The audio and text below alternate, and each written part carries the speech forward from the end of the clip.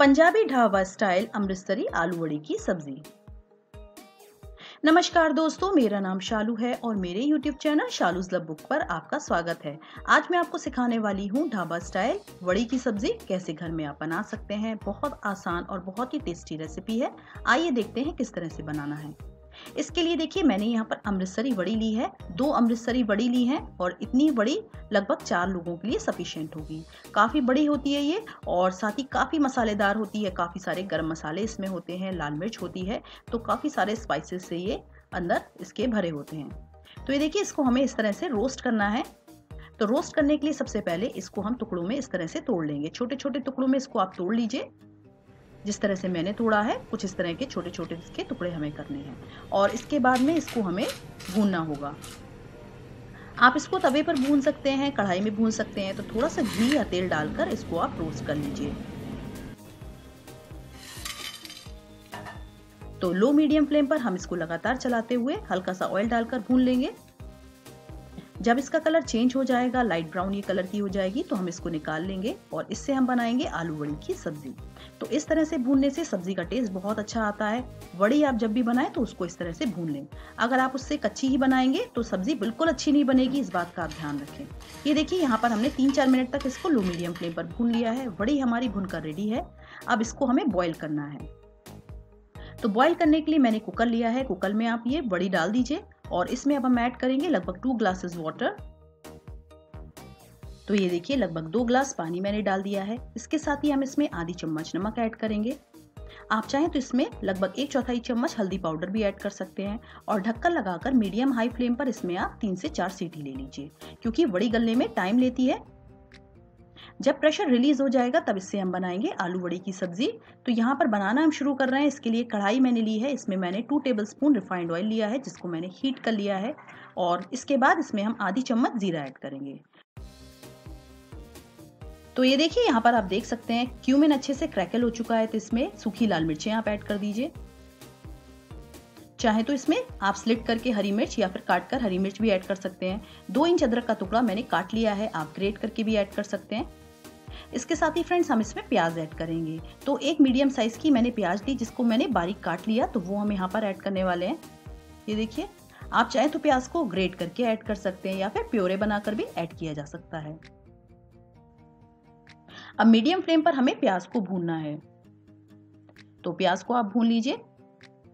ये देखिए, दो मिनट तक मैंने प्याज को भून लिया है और इसमें हल्का सा कलर आना शुरू ही हुआ है अभी। तो अब इसमें हम इस पॉइंट पर ऐड कर देंगे आलू। मैंने दो मीडियम साइज़ के कच्चे आलू लिए, जिसको मैंने छील लिया और इस तरह से टुकड़ों में काट लिया है।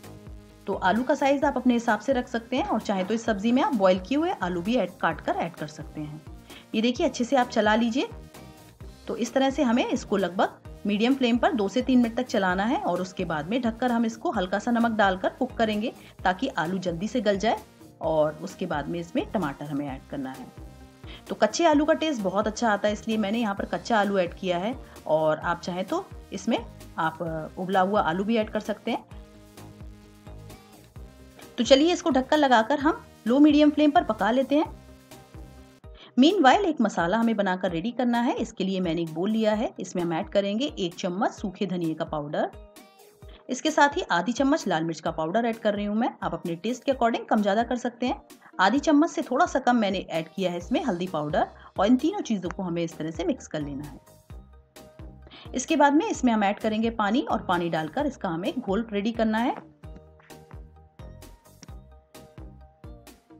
तो ये देखिए, हमने घोल यहाँ पर बनाकर रेडी कर लिया है। इसको हम सब्ज़ी में यूज़ करेंगे और इस तरह से मसाला बनाकर अगर आप सब्ज़ी में ऐड करेंगे तो सब्ज़ी का टेस्ट बहुत अच्छा आता है, साथ ही मसाला जलता भी नहीं है। तो ये देखिए, ढककर हमने आलू को पका लिया है। आलू यहाँ पर अच्छे से कुक हो चुके हैं। मैं आपको एक काट कर दिखाती हूँ। ये देखिए, आलू पूरी तरीके से गल चुका है।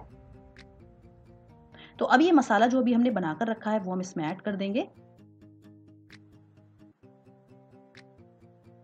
मसाला ऐड करने के बाद में इसको आप अच्छे से चला लीजिए। और आप देखेंगे तुरंत ही ये ऑयल को रिलीज़ कर देगा।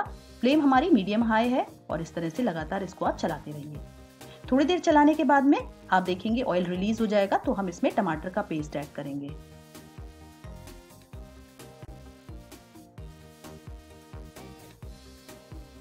तो ये देखिए, आप देख सकते हैं एजिस पर ऑयल रिलीज़ हो चुका है तो इसमें दो मीडियम साइज़ के टमाटर का प्योरे बनाकर मैंने मिक्सी में रखा है तो वो ऐड कर देते हैं।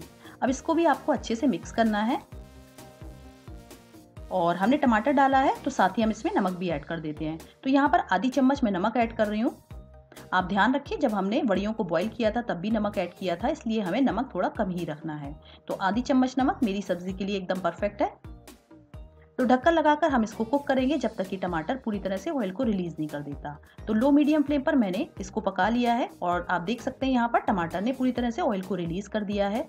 तो इस पॉइंट पर अब हम ऐड कर देंगे इसमें वड़ी जो हमने बॉईल करके रखी है। तो वड़ियाँ आप देख सकते हैं, बिल्कुल नरम हो चुकी है, हाथ से दबाकर मैं आपको दिखा रही हूँ। तो इस तरह से अगर आप आलू वड़ी की सब्ज़ी बनाएँगे तो वड़ियाँ बिल्कुल भी टाइट नहीं होंगी और आलू वड़ी की सब्ज़ी बहुत अच्छी लगेगी। अक्सर से हम देखते हैं कि जब भी वड़ी की सब्ज़ी बनाते हैं तो वड़ियाँ टाइट रहती हैं और अक्सर से लोगों को खाने में अच्छी नहीं लगती। तो लोग उसको घर में नहीं बनाते हैं। आप पहले से वड़ियों को बॉयल कर लीजिए प्रेशर कुक कर लीजिए और उसके बाद में आप सब्ज़ी में ऐड करें तो सब्ज़ी बहुत ही बढ़िया लगेगी। तो फ़िलहाल तो देखिए, अच्छे से मिक्स कर लिया है हमने। आप देख सकते हैं और इसमें अगर आपको पानी बढ़ाना हो तो आप थोड़ा सा पानी बढ़ा सकते हैं, क्योंकि वड़ियाँ काफ़ी अमाउंट में पानी को एब्जॉर्ब करती है तो लगभग एक गिलास पानी और डालकर आप इसको ढक्का लगाकर ढक सकते हैं। तो आप देख सकते हैं इसको लगभग मैंने पाँच से सात मिनट पकाया और यहाँ पर आप देख सकते हैं, वड़ी तो ऑलरेडी बॉइल्ड थी और अच्छे से हमारी ग्रेवी पक चुकी है। तो लास्ट में इस पर आप डाल दीजिए आधी चम्मच के करीब अमचूर पाउडर इसके साथ ही इस पर हम ऐड करेंगे थोड़ा सा हरा धनिया। तो सब्ज़ी हमारी बनकर बिल्कुल तैयार है, आलू वड़ी की सब्ज़ी। आप इसको मूंग की दाल की मंगोड़ी के साथ भी बना सकते हैं, या फिर उड़द की दाल की जो बड़ी घर में हम बनाते हैं या बाज़ार से लाते हैं, उससे भी बना सकते हैं। इसको मैंने अमृतसरी बड़ी से बनाया है, और आप भी इसको बनाइए, ट्राई कीजिए। कैसी लगी आपको मेरी रेसिपी लिखकर ज़रूर बताइएगा। मुझे पूरी उम्मीद है आपको ये रेसिपी ज़रूर पसंद आएगी। रेसिपी अच्छी लगी तो प्लीज़ लाइक करें कमेंट करें सब्सक्राइब करें। Thank you so much bye